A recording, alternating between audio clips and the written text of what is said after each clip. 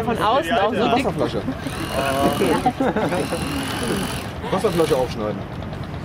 81 Zentimeter brauchen wir.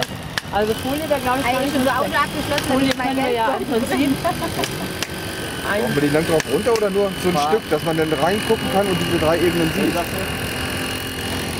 Ja, oder Vielleicht also wir mal haben, anfangen. wir haben erst, erst gedacht, dass wir das Dach dann quasi aus Folie machen. Oder aus dem Zumindest mal groß, natürlich, dass das auch. äh, die Decken quasi Oh ja, aus Holz. Manada.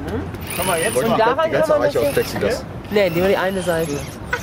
Also quasi, wir haben jetzt gerade gedacht, die hintere Seite aus Holz, so ganz schön. Und die vordere Seite oder die andere Seite halt aus Plexiglas. Wir müssen aber Und hier kommen ja so Holzscheiben rein. Ne? Wenn der Holz, Ja, ist vielleicht dann. Äh, du meinst, dass wir dann ähm, was das ist nicht unter, nicht ab, falsch absäuft. Wenn das, hat. genau. Das ist dann halt die Schwierigkeit dabei. Und sonst was ist los? So, bei den, bei den Maßen kann das gut aber anschauen. Wenn so hoch ist und so breit, Inzwischen ist der Zaun fast fertig.